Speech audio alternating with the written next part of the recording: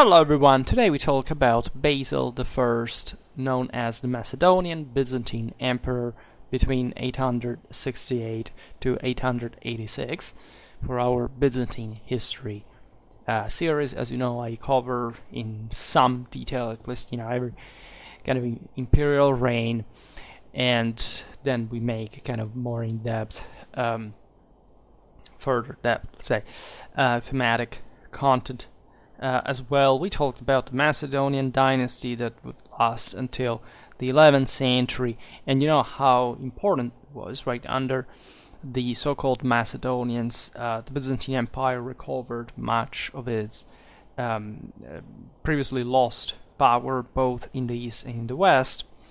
Basil was uh, the founder of the same, in fact, so-called Macedonian dynasty. We will look at this again his ethnic background, because we call it Macedonian, um, due to the fact that at the time uh, Macedonia was within the theme of Thrace, from which Basil uh, came from.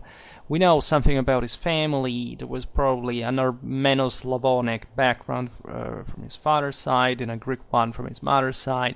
However, the exact ethnicity of this dynasty is not completely clear. Um, also because there were voices anyhow that also you know there was not really a biological continuity including with with um, Basil's son allegedly Leo the Sixth. We, we talked about him uh, recently in a, in a similar video about in fact Leo the Sixth uh, the Wise uh, reign.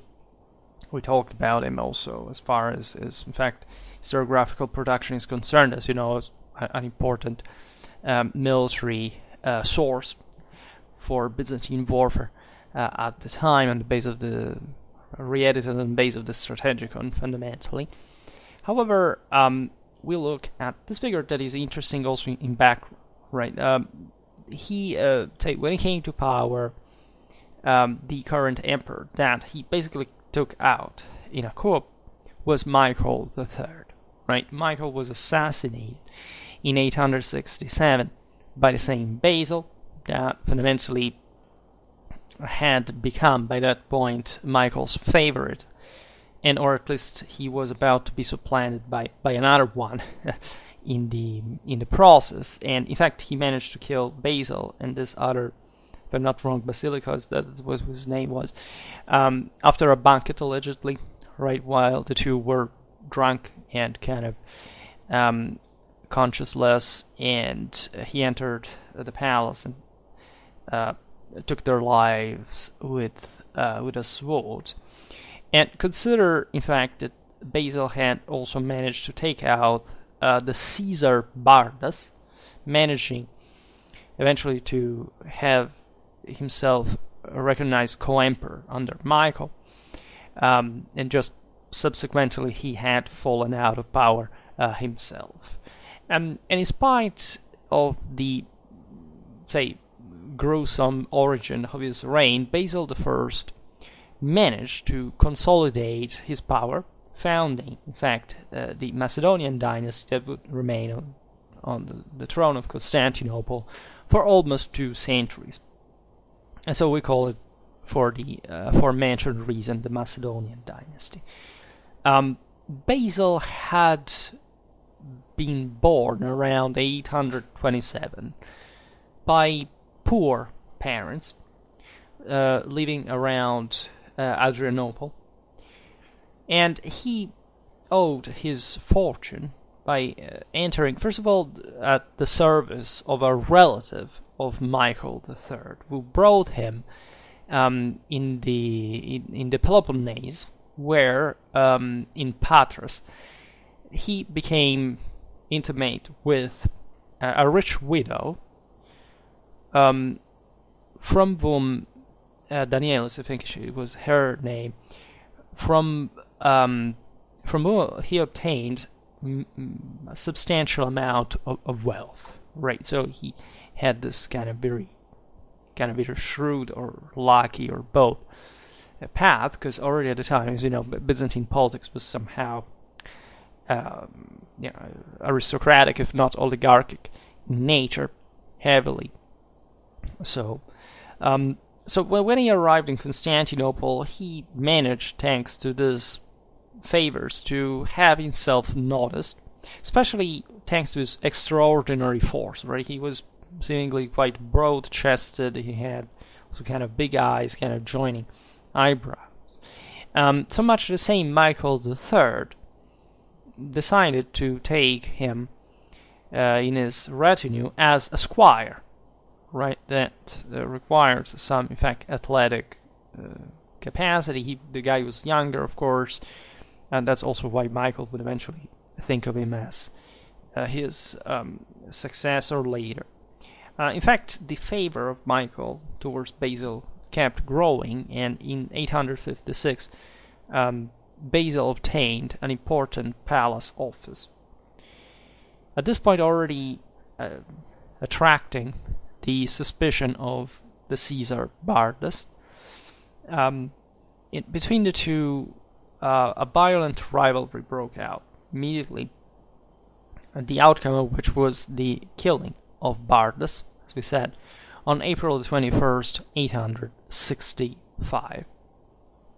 And after this, Basil obtained from Michael, that still, uh, you know, was was uh, was positive towards him, the crown of co-emperor, which was a way of you know essentially indicating you know that it wasn't quite a dynastic succession formally recognized in the Byzantine institution. So this was a way to just indicate and favor like who, who your heir would de facto be, and then you know uh, coups aside that as you know in Byzantine history were rather uh, frequent, exactly because of this kind of concentrated power in a in a single, um, other, but was still in a sense a centralized power, like a, uh, an old-fashioned statal model uh, would was supposed to just succeed.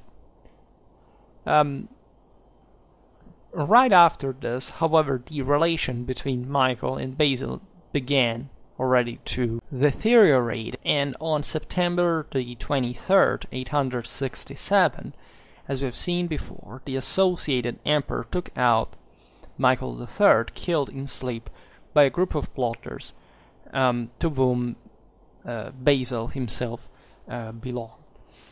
Um, Basil's reign at that point was um, fundamentally stable uh, there was no major trouble, right? The uh, succession was already uh, had partially already been ensured by his co-imperial title, etc. Um, the you know the the new emperor changed his uh, ecclesiastical policy. Effectively, he normalized the relations with the Roman papacy. Um, that had been set strained under Michael III. In fact, the first thing he did as he rose to the throne was to depose Photius, that, as you know, had caused, before the 11th century, a significant break uh, with Rome. And we'll talk about him uh, specifically. Photius was sent in exile at this point. And the previous patriarch of Constantinople that had been adverse to, taken away by Michael and adverse to Photius, Ignatius was reintegrated uh, instead. So that was you know quite eloquent and clear political. Um, it, Basil started at that point new contacts with, with Rome, right? It's worth noticing that Basil was essentially the first emperor after Constantius II in the 7th century to actually resume a, a proper uh, Western policy, as, as, we will see now, as many positions in Italy were consolidated, right? And that was a big deal because um, we are looking at times in which, uh, first of all, from the other side, you had the Carolingians, was um, generally speaking, uh, kind of a competition, of course, for Rome that was at this point under the, the Franks, uh, just by political um, sphere, and the same popes naturally had uh, been enjoying that. But but Rome had always been connected with Constantinople, so to that point it would remain for a significant amount of time, as it could play kind of a decentralized policy with the with the Byzantine support. It is properly the presence in, in southern Italy that required papal support historically, right? And returning there was just showing that the empire uh, was still alive uh, even after the, the troubles of the previous couple of centuries. Um, as you know, from the Islamic uh, invasions to the same iconoclasm that had, uh, generally speaking, not just the, the, centralized imperial rule, but also created significant opposition to it. Um, in Rome, when Pope Nicholas I died, St. Peter's throne had been occupied by Hadrian II, who had a more conciliatory attitude towards the Byzantine Empire. I mean, during the Photian um, controversy, naturally the, the relations between Rome and Constantinople had been significantly strained, as we will see now. There was a a very big game at that point that the, the papacy was playing also in Central Europe for the evangelization of other peoples, also in, in, in, in the sphere actually.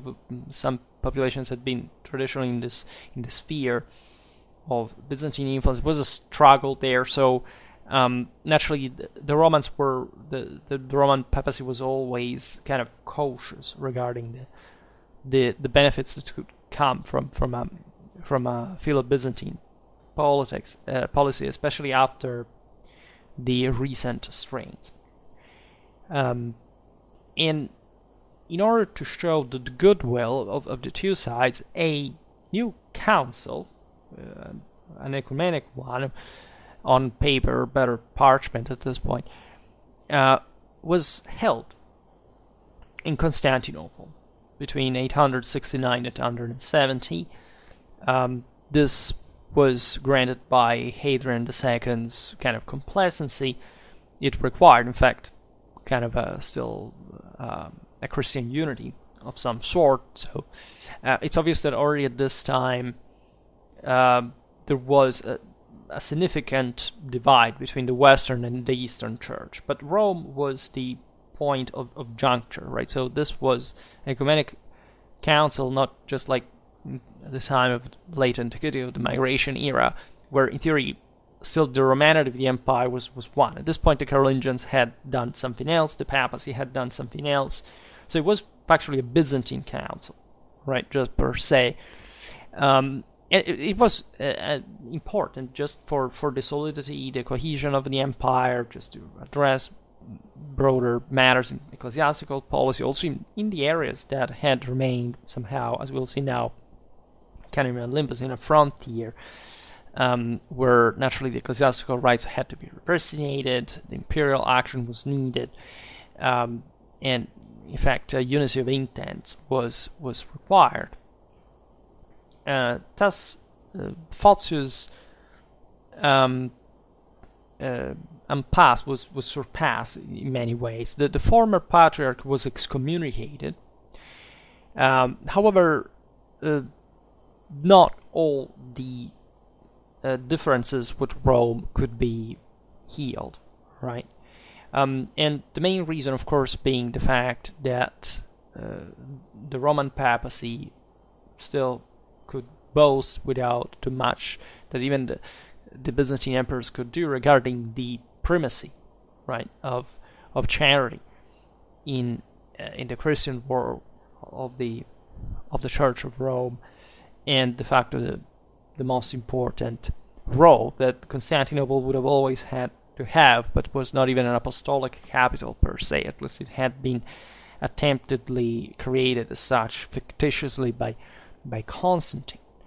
Um, and one uh, thorny topic in this question was also the um, like the policy of other peoples that, as we've seen, were either already Christianized, but were in between kind of Rome and Constantinople, were yet to Christianize.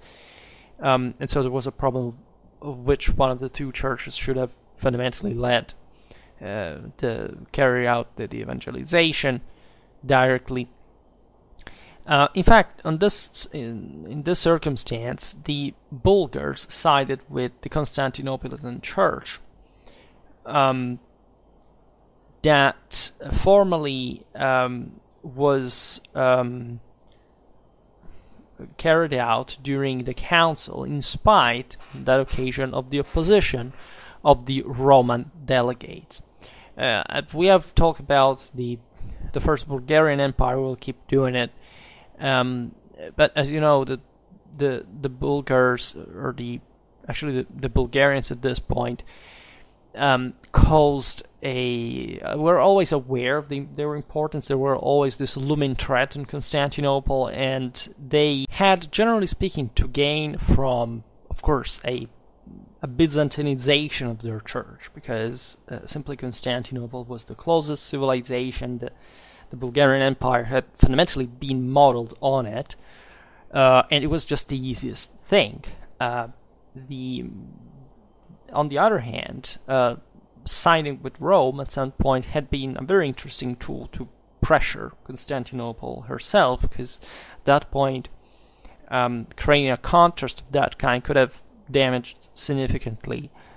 Uh, Constantinople could have been just an indicator that uh, an entire, massive region, consider at this point the Magyars had not migrated, in fact, in the Hungarian plain yet, so um, you know, the Bulgarians were just connected with the Carolingian Empire as as long as the, their territorial, um, say, control went, uh, and or you know, this for how much they could stretch it with military uh, campaigns, um, and uh, this was one of those cases in which the Bulgarians preferred to prefer to to stick with, with Constantinople in a way and to uh, probably we will see that that in, in kind of in depth like it's not um, so so significant. Now important thing though is that this caused problems to the same Byzantines as far as Basil's policy wanted to recount, reconcile with the Roman papacy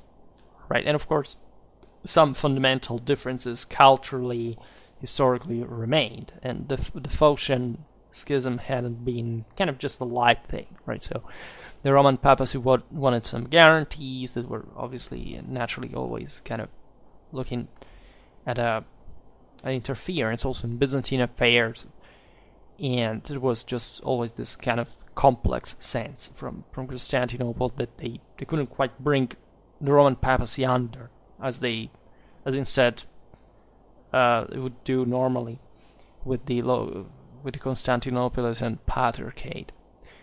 Basil the First led uh, in in all this um, a a power policy, right? He managed to consolidate, for example, the positions in of, of Constantinople in Dalmatia, in the east, in Italy.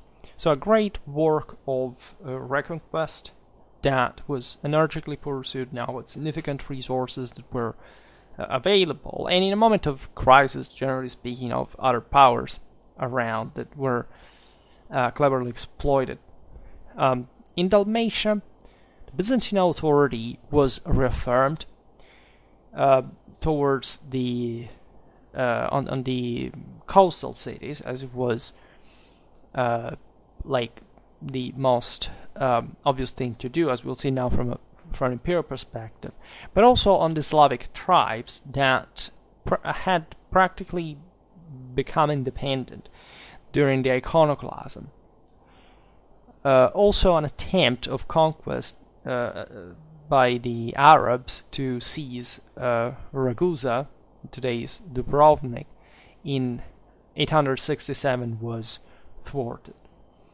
Um, this um, uh, this Byzantine affirmation in Dalmatia was uh, was quite meaningful because the revived imperial presence was eventually uh, sanctioned through the establishment of a theme of Dalmatia, uh, and uh, the the Adriatic had become particularly important to um, the Western policy naturally because that was a frontier area between some centers that had historically remained uh, in, in, say, if not in Byzantine direct control, it was within the orbit of the empire. Think about Venice, right? There was much in Dalmatia that we've seen also as far as the Duchy of Croatia in the video about it uh, was concerned because it was a way to reactivate, first of all, the naval power of Constantinople over a coastal area of great strategic significance. Dalmatia is all, as you know, dotted with uh, gulfs, uh, islets. Um, you know, it's um, it's a perfect Ragusa. In fact, is the most important center strategically speaking. Has a hell of a port. So Byzantine civilization, as you know, had always thrived coastally. Right, there were some areas we consider Byzantine in, of the interland, but were just kind of under it in a in a political sense, but were culturally, socially, and, more very different from the core of what was truly like a, a really Greek uh, background. It's as if you know the the the, the Hellenic thalassocracy, the, the, just the coastal colonization had survived through, throughout the uh, the millennia um, as a as a culture on its own. It's were mostly Constantinople operated from, especially as far as the west was concerned, because in Asia Minor, of course, was a significant continental dimension as well. That was also significantly different, but had brought at least to the installment of some kind of, uh, um, say, aristocracies that also mixed with the locals. I mean, the same Armenian origin of, of Basil may have had to do with that. At least was not really an aristocratic one, but still the idea that there were some peoples like the Armenians had been just integrated in the empire and that they had been provided with land, with uh, command posts on, on, the eastern frontier, etc., is, uh, is significant. Uh, this was less true in the west, where there was um, actually a much greater maritime potential. Ragusa, as you know, would become an important maritime republic um, and Venice as well. So uh, the um, let's say the naval control, as far as the connection of those areas, where there was a Carolingian empire in difficulty and struggling, especially on the Dalmatian coast, against the the local Slavs that at this point were preferably to feel under the Byzantines than the Franks, that they were the most pressuring element there, both from the Adriatic watershed and the Danubian one in the interland um, really played to the favor of Constantinople. They could simply arrive, say, okay, we occupy these coastal centers, we just don't care so much about the interland because at the end of the day, we will simply control these ports of it from the uh, the Balkan mountains um, communities, and that's what we're content with. This was true also in the Aegean Sea, right, in the Black Sea, etc. Um, and it's significant that the empire could reaffirm its presence at this point militarily, navally, uh, also to show the Slavic tribes of the interland that were gradually Christianizing and kind of from that, say, in the immediate interland of Dalmatia, were, however, to fall under the, the Byzantine orbit historically, to, of course, represent properly a provincial uh, control territorially, demographically over such um, polities that had exploited, as we've seen, the iconoclasm, especially to say, okay, well, this is a mess. As we made multiple videos about the iconoclasm. We know what happened at the time. Essentially, there was a great um, uh, confiscation of, of uh, an incredible amount of land and property by by the Byzantine state on, of this. Um, in this, in fact, monastic centers that had attracted most of properly the agricultural interland as far as the populations were concerned, becoming uh, overbearingly powerful in a also kind of centrifugal, decentralized way. Um, sometimes it was just plain looting, right? It wasn't anything, you know, sophisticated politically speaking about that. Um, uh, in in these other kind of um, kind of more difficult areas, such as the Balkan interland. Uh, it was also a matter, however, reaffirming a the the the presence of uh, the Byzantines on a frontier area that was becoming significantly, uh, you know, uh, at least presented an opportunity as far as the, the Franks and the Bulgarians um, countering was uh, was concerned right? Especially the, the, the anti-Carolingian function. Um, the fact that uh, the Arabs that at this point were essentially expanding during the Saracen era, etc., and and um, and uh, that they could be, say, pushed away, uh, swept away by, by the Byzantine navy that was adequate, at least against that kind of piracy. Not always, there were ferocious struggles. And, and as we've seen also under Leo VI, we made a video about Byzantine naval warfare. There wasn't really like that enormous kind of thalassocratic or naval su- superiority of, of, the, of the Byzantines um, it, at, at this point, right? Uh, the the the the function of fleets was pretty much similar to the all the other kind of states, uh, right, territorial states existing at that time. Of course, it required, in fact, such concentrated power, but the Byzantines didn't score radical naval victories in a consistent way to, to claim kind of a some kind of top standard that could not be reached by the others. Right? It was mostly they were also mostly secondary operations, and especially piracy was to be countered mostly through garrisoning. Uh, there were ships around, but say not the entire imperial fleet against. But it was important for the population of, of the interland to recognize that that was a coastal stability to make uh, trade work smoothly um, and such things. Success against the Arabs was also scored by the imperial army in the east. This had been the um, the hottest frontier of Constantinople up to this point since Islamic invasions. Um, it was different in some ways. It was, of course, distant from the capital, but the uh, lands of Asia Minor were, were significant enough, especially for their the possibility of invading Syria and the Euphrates Valley.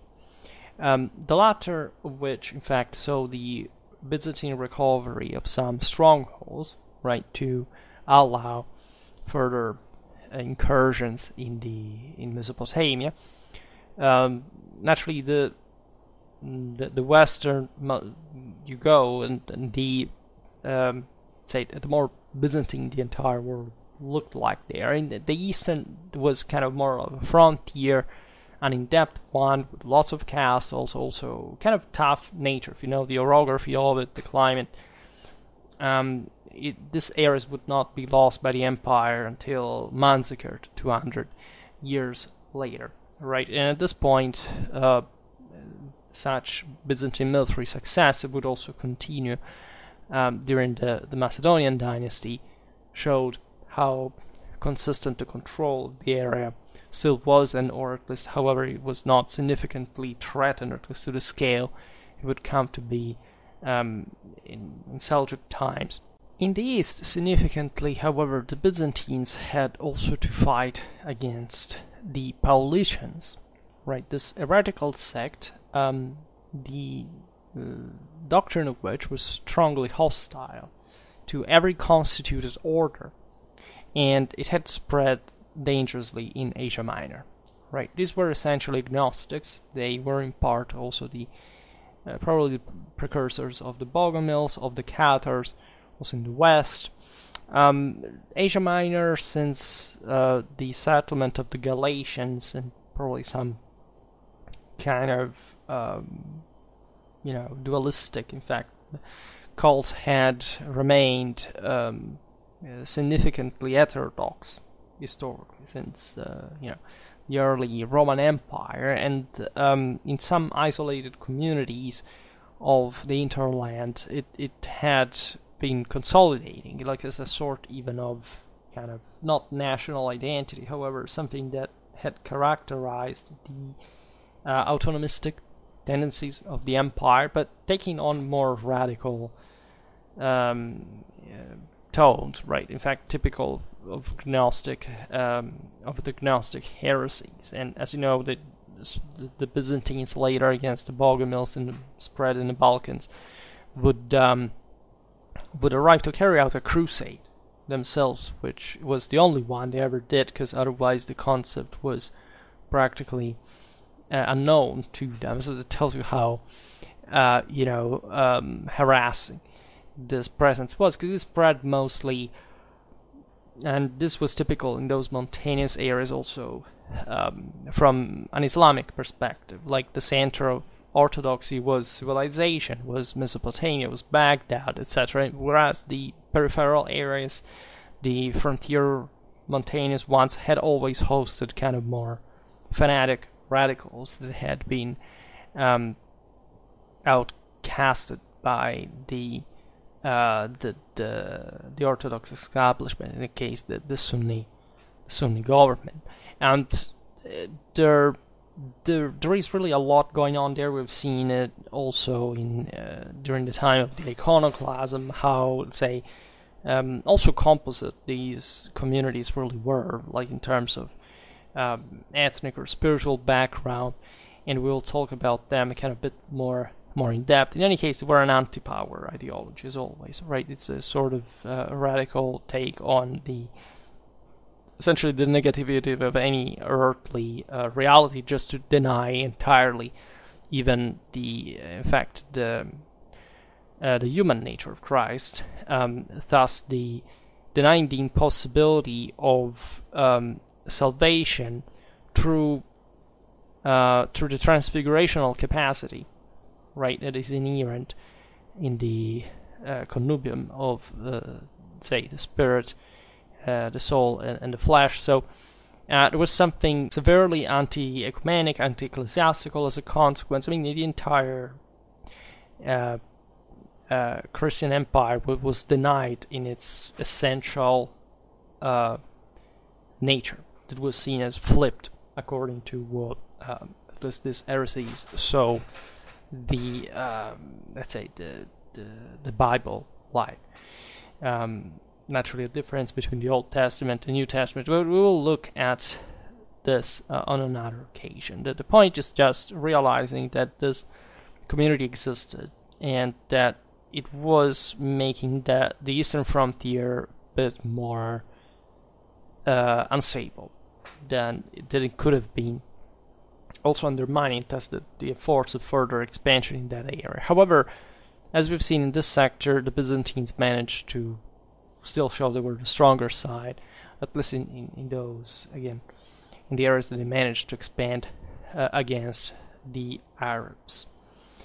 Um, now, in, in southern Italy, finally, was enacted a wide reconquest operation. Right after this long period of eclipse, um, and namely to uh, to to contrast the Islamic expansion as the Saracens had installed themselves um, in uh, in Sicily, and as we'll see also in part of peninsular Italy. Um, so the political geography of southern Italy had been modified during the 8th century, essentially relegating uh, the Byzantines in a marginal position. Essentially, the uh, uh, at the moment of the fall of the uh, Exarchate, that as you know fundamentally was the, the Byzantine, the center of the Byzantine government in, in the in the peninsula, the already Byzantine territories of Apulia, Lucania, and Calabria had ended up uh, almost entirely under the Longobard Duchy of Benevent, right? That eventually would have developed uh, into a, a, principality, especially after the the Frankish conquest of the Longobard kingdom uh, in the north, and so uh, these Longobards um, felt a bit like the uh, the true heirs of, you know, at least the, the collectors of the Longobard of the entire Longobard legacy. Thus, the surviving Byzantine territories had been grouped in the so-called theme of Sicily. Um, because Sicily was essentially the most important province that had remained in the hands of the Byzantine.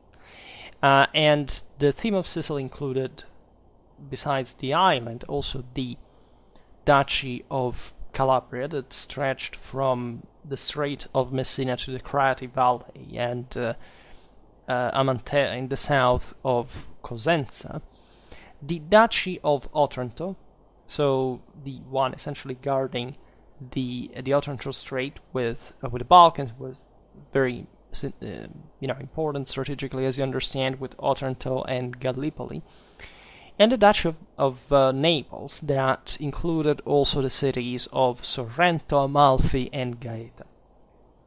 These were all very uh, the, the, latter, like the the Neapolitan um, uh, cities, were uh, all precocious maritime republics, right? And this is the reason why the Neapolitan duchy emancipated itself from the Byzantines shortly afterwards, 830. Uh, and the cities that uh, made it up um, had uh, an autonomous development, also one from the other, right? It would all grow, um, descended. They remained within, say, Byzantine culture in a way, and or you know something uh, Italo-Byzantine, we can say. Naturally, uh, these are cities that, in spite of the formalities, were um, were uh, had always been somehow different culturally. Like Italy had significantly decentralized during the time of the Islamic invasions for Constantinople to be reached significantly. And it's exactly in this context, actually, of, of Saracen piracy, and uh, this is essentially the, the moment of apex of uh, the say the golden age of Islam, right? So the trade balance is in favor of the Muslims, and and this um, Italian maritime uh, cities um, begin to grow within that. I mean, they even minted kind of fake taris. They they wanted to enter the circuit, and they began to develop a you know a massive uh, naval um, not just autonomy but also culture, right? As far as also the the fleets, the na- um, and this is an overlooked aspect. Um, in any case, these um, centers were also autonomous from one another, so they would often often conflict. Right? We've made a video, for example, the other day about um, the opposition to Hugh of Italy. We're talking about the 10th century, but we're more or less within the same dynamics because uh, you know, when the Saracens were crushed at the mouth of the Garigliano River, uh, dislodging them effectively from, you know, the, that base in, in, in central Italy. Um, say, Gaeta sided with the with the Muslims, while uh, Amalfi was part of the broader alliance. They were all Christian powers, of course, but uh, there would be a lot more to say about that. I, I discussed those uh, things mostly in the videos but in, of um, say of the Saracen era, right? If you go into medieval Islam playlists, you, you find them.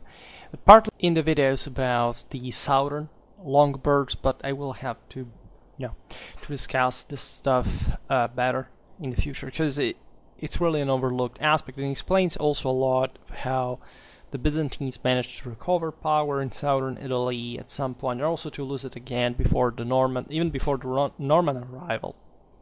Right, so um, those are the floatings that uh, one must also chronologically fix to understand the, the Byzantine reconquests of, of southern Italy. Um, so, as I've made a video last year about this, a series about medieval Sicily, you've seen there is the one about uh, the, the, Islamic rule. So the Arabs, as you know, uh, you know, kind of Berbers with Arab besides the elites, settled in, in Sicily that uh, was technically Byzantine at that point. So um, it was very decentralized, but there were uh, still local kind of imperial garrisons that held out until the beginning of the 10th century. In fact, uh, this is the point that the Arabs uh, that had not yet to had not yet finished to conquer Sicily swarmed also in peninsular Italy, both with actions of piracy, such as you know some of the most clamorous one was was the sack of the Basilica of Saint Peter and one of Saint Paul, by the way, in Rome in 846 that triggered the uh, construction of the Leonine walls under the Carolingian times. So it's an important moment. Also uh, settling stably in some areas of southern Italy right? The Saracens settled mostly like uh, with um, fortified camps, right? They weren't really, you know, demographic colony, a bit like the Vikings, right? In a sense, um, except the Vikings settled in much more sparsely populated areas in, in northern Europe, essentially having a, an ethnic impact. The Saracens were never practically capable of, um, you know, controlling the interland significantly. They cared about this uh, trade net, this uh, kind of basis for piratic activity. Naturally, there is a lot of should understand who the Saracens were, because many Saracens we wouldn't be surprised to know that they were Christians actually, uh, and they were often the same Italians in this area. And, or if we talk about the the Aegean, the, the, the Levant, they were Greeks, right? So they often engage also in anti-Byzantine piracy uh, in that regard. And um, exactly because of this coastal interest, they tended to settle, as we've seen, they tried to coup in, in Ragusa. Um, in southern Italy, they settled in Taranto on the Apulian coastline. It has a, as you know, it's a terrific naval base. It has basically two seas within uh, itself, so it's a hell of a position. And they managed to occupy Bari on the Adriatic Sea uh, from the other side of, of Apulia in 841. Um, these two areas came the target of, uh, let's say, there was a competition, let's put it in this way, between the Byzantines and the Franks for reconquering it. Right? It, it's worth noticing that both, um, I think, Taranto and surely Bari were emirates. Right? The caliphs had recognized these bands of adventurers some kind of political legitimacy to say you know extend their uh, their their control charismatically also in these areas um, that were infested from there with piracy, right? Especially from Apulia, the, the, the Saracens threatened the Adriatic. So, as we've seen, the same portual cities of Dalmatia, where Basil had restored a significant uh, Byzantine control, exactly also in function of you know the, the defense against the Islamic piracy.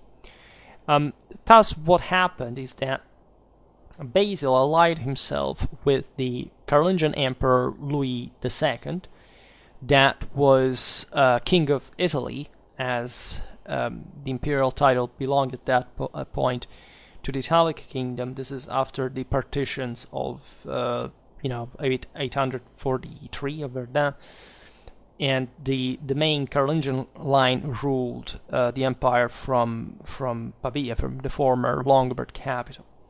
And there is this very interesting military campaign that we will see um, at some point, likely, because there are interesting Frankish capitularies documenting it and so on that still showed also that by 871 when it managed to reconquer Bari back from the Saracens, you know, the the the, the Carolingian army in Italy was still importantly functional. Um, there was a broader competition, as we've seen, between these allies because southern Italy, as we've seen, was pretty pretty much of a frontier. The, the Franks had never managed to fully recover the southern Longobard duchies that played as clients uh, first of the Franks, then of the Byzantines. And as we've seen, given that Basil was trying to recover southern Italy, that situation was, was important. What kind of armies could manage to recover Bari or Taranto first, right? Um, in fact, the Frankish con- uh, reconquest of Bari, that was also, uh, let's stress this, a Byzantine, a Greek city, right? Uh, these were as we were saying before, like, like, on a coastal dimension, the interland was different, or it was Italic. But cities like Bari or, or Taranto were historically and significantly, first of all, Hellenic colonies back in the day. Of course, they, they had not remained uh, just gr- in the same f- fully Greek sense that we intend now, but they, they were definitely the prototypical Byzantine coastal center. So the fact that the Carolingians could occupy Bari was was like, wow, they're stepping to a Byzantinity, uh, like like hell, uh, and this brought, in fact, to the uh, the the break of the alliance between the Franks and the Byzantines that, as we've seen, also kind of hated each other in principle with Venice where, as you know, the son of Charlemagne had died of malaria during the siege, and or because of this, um, those southern Slavic tribes, um, um, and the Drina and the Sava and the same Croatians that you know now were hammered from from the from the Friulan dukes and sponsored by the Byzantines. So there was a great, it was like a cold war of some sort. Sometimes not even so cold, by the way. Um, and uh, this break, by the way, went to the advantage of Constantinople because um, the Carolingian world was entering, as you know, a, a deep crisis, as we've seen very often, especially you know concerning the so-called post-Carolingian times. Like the dynasty had just, you know, not even two decades of life and much less of effective government. Um, while the Byzantine Empire didn't undergo that crisis, right? Also, the second invaders were much more kind of were targeting definitely the most Western Europe as such. Uh, in 876, uh, in fact, uh, this brought uh, Bari to come back under Byzantine control, right? Because the local inhabitants had uh, sought the help of the governor, the Byzantine government of Otranto, um, that, as we've seen, had remained in Byzantine control against the threat of a possible Saracen com- comeback. So naturally, when the Franks had occupied Bari, they hadn't managed to secure like a permanent control of the city because it was too far south from from the say the boundaries of the Italic kingdom. It was the same Italic. Uh, uh, in fact, unity was starting to, to, to vanish as well after Louis II was the last effective king practically.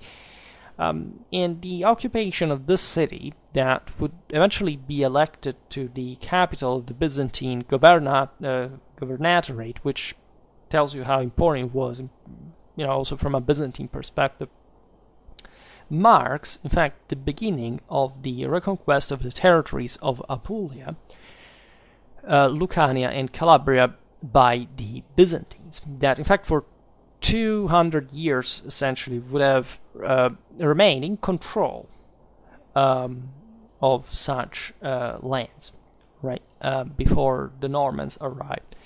In 880, a Byzantine army coming from uh, the European themes, so of the Balkans, uh, landed in Italy and uh, and seized Taranto as well. Right, so they the Byzantines managed to strip that port from the Saracens as well. This victory was consolidated in the following years uh, by hand of the um, strategos Nicephoros Phocas, that would recur like in later history, as you know, um, with uh, you know becoming emperor himself, and as one of the most successful generals in, in Byzantine history. In fact, with the capture at this point, the curriculum spoke by itself of all the Calabrian strongholds controlled by the Arabs. Right, it was a very methodic mm, procedure uh, with you know Byzantine amphibious operations, sieges, the Calabri- the Calabrian coast is quite rugged. The, the, the settlements were very you know uh, well fortified, but Byzantine logistics, poliorcetics, and mostly this command strategy organization by Nicephoros really um, expressed the, the best of, of Byzantine military culture there. This allowed essentially the Calabrian cities to be connected to the Apulian dominions, um, conferring naturally uh, a much greater depth of imperial influence in these lands, both by sea and by land, in fact. Um, and so recompacting properly southern Italy in a politically and territorially contiguous way, uh, like it hadn't been the case for from a long time. At this point, the, the Longobard power also far in the south uh, the, the Longobards had arrived down to Calabria, right in the plain of Rossano, those areas, uh, but had remained essentially a continental power like mostly that they were entrenched in the Apennines. They controlled mostly just the, the interland, right? And again, the Byzantines were stronger at sea, so there was not really a match there. And the imperial army was quite strong also on land. Um, we will again. I made a video about the southern Longobards, and you can partly look at this dynamics also in those other videos. Um, as far as uh, a more international political game, there is the competition that we remember before uh, between Rome and Constantinople, and so between also the Carolingian Empire, what remained of it, at least you know the Western Christendom, and Constantinople. Uh, as far as, in fact, Central Europe was concerned, right? Michael III had already given a significant impulse um, to this, realizing that many populations settled in the in the Balkans, but also in Central Europe, were opening to, to Christianization, had a lot to gain, especially their elites, for the compaction of more stable statal realities evolving from the tribal ones. Um, and Rome was aware of that too, right? The same Carolingian conquests had fundamentally brought to the uh, to the compaction and, and, the Christianization of all Germany, right? The conquest of Saxony with the further expansion of the frontier uh, in the east. So actually, the foundation of new dioceses, etc., uh, as a stateful ecclesiastical administration. Some were destroyed. Hamburg was destroyed by the Vikings as a point, um, but were fundamentally there to stay, right? And so uh, lots of things would actually occur. Uh, in, in, in the meanwhile, consider that at this point the Magyars hadn't, again, as I said before, yet migrated, like formed this wedge between the Bulgarians and the Franks. So there, there had been a moment, as you know, expansion of Moravia. Uh, uh, the latter being, in fact, at this point, the main objective of the same, um, in fact, uh, missions, right, of evangelization that were still actually concerted with Rome, right? Cyrillus and Methodius actually moved from Rome at the point some of the um, the early, uh, you know, an official kind of relation with these peoples occurred in fact, in the in the eternal city rather than Constantinople. Um, however, you know, in order to, of course, to to Christianize these peoples, you needed to give them something more, right? Um, and especially in, in, a political sense, and it was difficult for both sides because the Byzantines could could not and would not expand in in in the north, right? It was just there was no point in doing that there were much more developed uh, areas to conquer all around, as we have just seen. Um, and just in between, you had there Bulgaria, and then just you would have to enter in central. It was unfeasible in many ways. Um, the Carolingian Empire was collapsing, so also Rome and uh, whoever was the emperor in a, at least could be right. Uh, even the, the, the kings later, before the advent of Otto the First um, could hardly manage this um, Christianizing process in a unitary way, so that, as you know, the full Christianization of these areas, at least in a more uh, solid fashion, would, would occur basically at the end of the 10th century. That it was a long process, right? Uh, but it was important to define at least which spheres of influence would have been the, you know, uh, say uh, bought by by these uh, uh, communities. I made a video about this, specifically about Moravia, the Rus, saying Bulgaria. Like there was a lot of, you know, kind of active role played by the same people. So they weren't just the good savages who were simply Christianized by the, the civilizer. They they knew very well what was happening all around, and they exploited this moment of uh, weakness um, of the of civilization during the end of the ninth and the first half of the tenth centuries to have a saying in the process, also to consolidate their own power accordingly, and to play with Christianity uh, also internally, right? Um, the Byzantines essentially lost the predominant in Moravia. Uh, there was a time in which, because of, of, local struggles, some Byzantine churches that we can also, uh, you know, observe archaeologically were destroyed. Um, because, of course, there was naturally always a party that opposed Christianization and or specifically that specific ruler that wanted Christianization, if they were the rulers, they would do the same.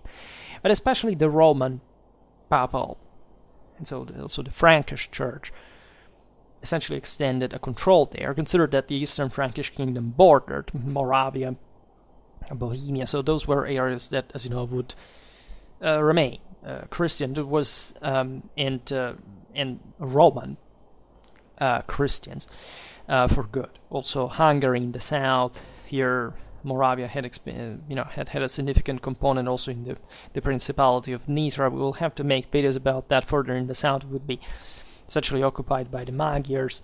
Um, so uh, this this the limits of the Byzantine uh, evangelization struggles are even at when you realize that they fundamentally succeeded in, in, in the Balkans and in Eastern Europe. But as far as Central Europe, it was to become kind of the the more advanced area of all these. Later on, uh, the Roman papacy, and with, with a lot of actually also of uh, brutal force, because not much because of, of Christianization, but also for literally making them understand and develop themselves by, by osmosis as a civilization. I mean, Poland, Bohemia all evolved with a deep sense of, uh, like Hungary also in the end, of, in a sense, the superiority of uh, the Frankish civilization.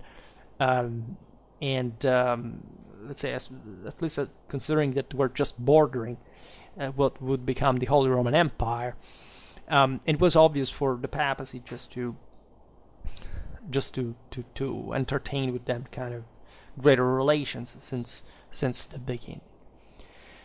Uh, the disciples of Methodius had been expelled from Moravia already, so it had been um, a Roman victory with the substitution, in fact, of of these uh, missionaries with with papal ones. Um, and um, there was um, However, coming back of those exiles, the pupils of Methodius, because as we've seen also in other videos, once they uh, left Moravia, uh, carried out a successful missionary work in the Balkans, bringing uh, within the orbit of the Church of Constantinople, importantly enough, the Serbs and the other Slavic tribes settled in the region. This would give origin to a significant divide culturally. Think about the Croats that were Roman Catholic and the Serbs um, would become Orthodox in this way. So um, these were originally kind of very similar people, also with very um, loose political distinction. And yet these two spheres of influence were to determine much of this country's histories and uh, ethnic uh, divide. The Serbs were, um, as you know, dwelling essentially from the right si- side of the Danube um, in the uh, you know, in, in, quite mountainous areas, they had been exposed fundamentally to these old nomadic steppes movements that tend to settle, in fact, north in the uh, in the plains, and that um, significantly would uh, bring the, the, Serbs to just to stick to Constantinople because it was the safest haven. Right, they, albeit developing very autonomously and also in areas that the Byzantines could barely control practically in a direct uh, fashion. Um, but the situation was still loose. We'll ha- still have to make a video about the early Serbian principalities because it's a very interesting history. Basil I um, furthermore changed the ecclesiastical policy undertaken at the beginning of his reign.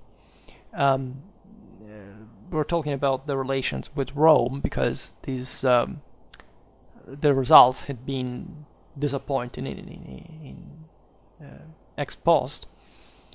Um, and in 875, he went as far as recalling Photius from the exile to Constantinople, um, entrusting him the education of his children.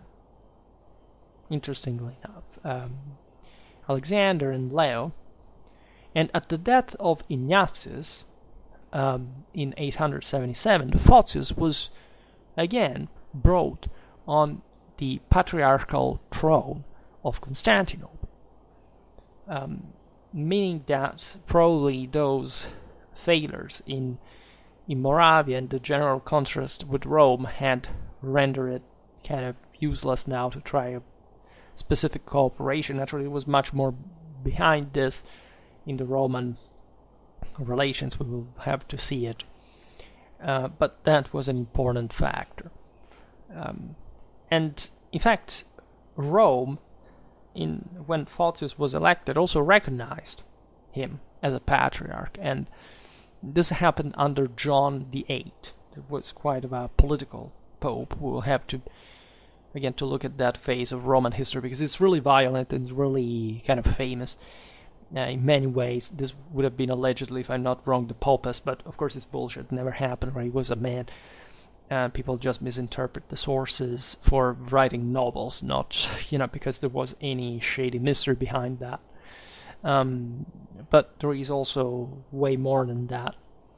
Um, and this Roman support came uh, basically also through the uh, revocation of the condemnation pronounced against Photius back in the day with a new synod in 879 at the presence of papal legates. Uh, this is, of course, was always the. Of course, they, they there was a properly a principle of ecumenism that had always brought the papal legates in kind of at least usually in the Byzantine synods, etc.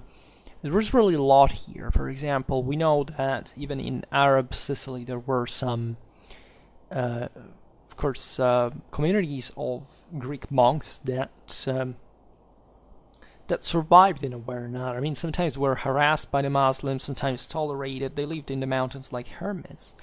And we know, so we know very few about what happened to those Christian communities during Islamic times, but they, they existed. And we, you find these Sicilians in the, this in fact imperial, um, like Sardinians. I mean, people that in theory had remained not completely cut out from, from the Byzantines, but at least had been somehow controlled by uh, by the Arabs mostly, participating to in fact Byzantine held councils of some sort, and, and I mean the councils of course looked at all the problems of mostly ecclesiastical administration, the church possessions there. So you understand that there was something going on, and unfortunately, Islamic historiography is not so insightful like the Christian one. Like we literally have too few. The, like if you read the Latin Germanic story, this is true also for the Byzantines, right? The Byzantines didn't write so much for us to understand. It was a much more sclerotic, oligarchic kind of uh, world than uh, than the West, right? Even in the collapse of Carolingian times, we've seen it in the video about the monasteries as a connective fabric of post-Carolingian Europe. Um, there was um, like Western historiography was dramatically florid, insightful, uh, detail, right? It, even in the darkest times, they, there was we know something substantial, right? Uh, uh, in some for some areas, we really don't, and that should obviously uh, make us wonder how and why this happened. Of course, if you if you realize, for example, the nature of Byzantine power we described before, and you um, realize why, for example, what was happening in, in Interland, aside from those coastal centers, was relatively, and even in those sometimes, like not so interesting. Not that everything revolved around the court of Constantinople, right? That is not to say there was nothing outside of that, of course, but uh, what was there was less likely to be documented because the place of power was was another, right? So a lot of, of really lots of stuff. First of all, uh, to consider, but lots of different fields. Sometimes I quote certain certain videos, like the one about Rastislav of Moravia. Um, the, the, the was the one about Kiev. That there is really I discussed. If you go in the Byzantine history playlist, um, there's really a lot about that. So you can easily find all these various um, kind of overlapping realities from the, the, evangelization of Christian Europe, the Byzantine reconquest, the Carolingian. Made a video about Carolingian Italy. I made a video about the, the Duchy of Croatia.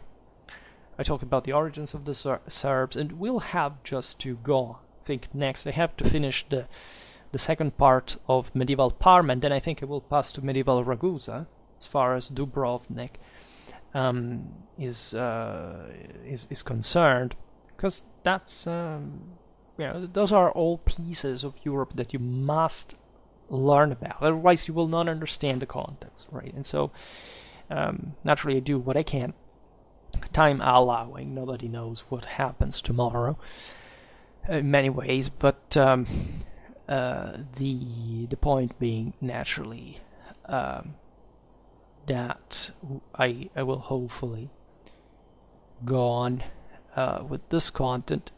For today, however, I stop it here.